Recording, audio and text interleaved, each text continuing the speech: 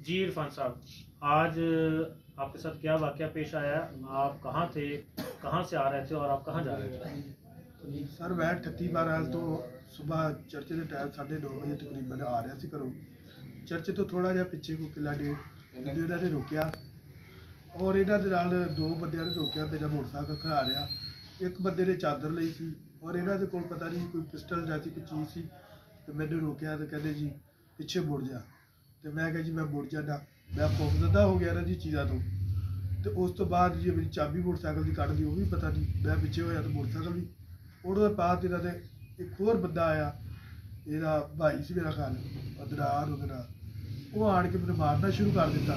ਉਸ ਤੋਂ ਬਾਅਦ ਮੈਨੂੰ ਨਹੀਂ ਪਤਾ ਮੇਰਾ ਕੀ ਹੋ ਗਿਆ, ਕੀ ਵਾਕਿਆ ਹੋਇਆ ਮੈਨੂੰ ਮਾਰਨਾ ਇਹਨਾਂ ਤੇ ਸ਼ੁਰੂ ਕੀਤਾ। ਮੈਂ ਆਪਣੀ ਬਸ ਆ ਹਾਲਾਤ, ਮੈਂ ਰਾਵੀ ਪ੍ਰੈਸ ਪ੍ਰੇਰੀ ਏਆਰਪੀ ਚਰਚ ਦਾ ਜਨਰਲ ਸੈਕਟਰੀ ਹੈ ਸੀ ਤੇ ਚੀਚਾਵਤਰੀ ਦੇ ਵਿੱਚ ਔਰ ਇਹ ਵਾਕਿਆ ਮੇਰੇ ਨਾਲ ਅੱਜ ਸਵੇਰ 9:30 ਵਜੇ ਪੇਸ਼ ਆਇਆ।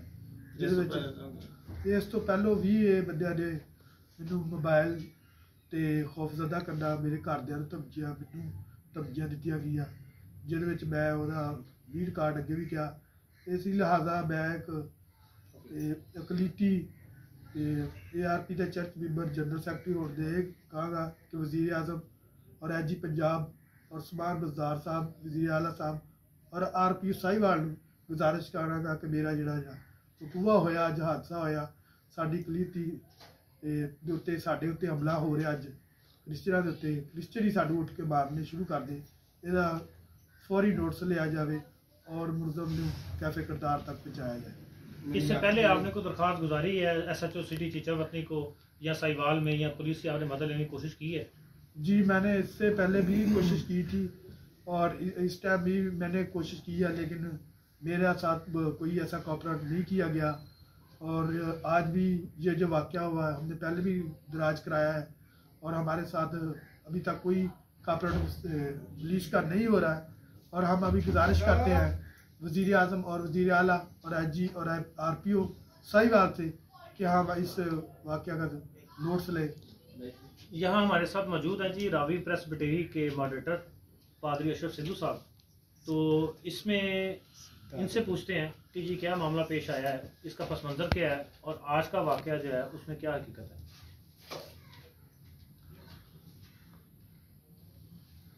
ये जो वाक़ है, ये तकरीबन दो ढाई माह का से ये सिलसिला चल रहा है। और मैंने, मुझे भी गालियाँ दी, धमकियाँ दी, एल्डर साहबानों को भी धमकियाँ दी। चर्च में, और चर्च के तकदस को इन्होंने पमाल भी किया और मैंने डीएसपी साहब को दरख्वास्त दी। और डीएसपी साहब ने इस बात का नोटिस लिया और इनका पर पाबंदी लगाई कि आप चर्च में दाखिल तो हो सकते हैं, लेकिन आप किसी तरह की चर्च में मुदाखल ना करेंगे। लेकिन इसके साथ साथ ये धमकियाँ देते रहे, ये ऐसी बातों से बास नहीं आए। और मुझे भी धमकियाँ दी गई एल्डर साहबानों को भी धमकियाँ देते रहे। और वो रिकॉर्डिंग भी हमारे पास मौजूद है। हमने फिर जो है वो डीपीओ साहब को भी दरख्वास्त दी है। और फिर डीएसपी साहब को भी एसएचओ साहब को भी। लेकिन आज तक कोई हमारी जो है वो आवाज़ सुनी नहीं गई। और उसका नतीजा ये निकला है कि आज हमारे सेक्रेटरी साहब जो इरफान साहब हैं, इनको उन्होंने चाहे वो मारा पीटा है और उनके नाम चाहे वो मुश्ताक है, मुश्ताक के बेटे हैं, उन्होंने इस नौजवान को मारा है और ये इंतहाई अफसोस की बात है।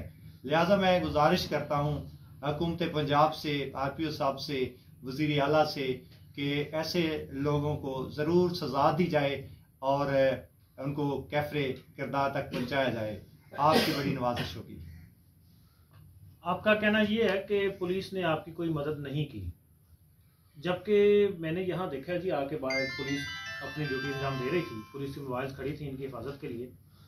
लेकिन बात यहाँ पे ख़त्म नहीं हो जाती। बात यह है कि अगर, जैसे पादी साहब ने फरमाया कि दो ढाई माह से इनके साथ ये मामला चल रहा है तो इन दो ढाई माह में क्या पुलिस का जो तफ्तीशी था या जो S H O city Chichawatni है उन्होंने मुखालफ पार्टी को एक फ़ोन कॉल करके तनबी क्यों नहीं की?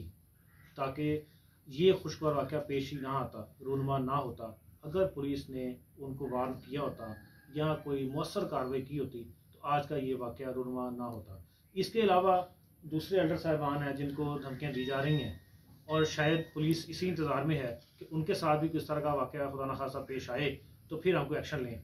अभी ये लोग जा रहे हैं थाना सिटी चीचावतनी में अपनी एफ़ आई आर के इंदराज के लिए तो देखते हैं कि S H O city Chichawatni इनकी दादरसी के लिए इनका जो वाक़ पेश आया इरफान मसीह को, उसकी एफ़ आई आर दर्ज करते हैं, नहीं करते, जबता के मुताबिक कार्रवाई की जाती है, नहीं की जाती तो अभी इसका बाकी मामला इनके स्टेशन जाने के बाद का आपको बाद में बताएँगे, फ़िलहाल यहीं पे बंद करते हैं।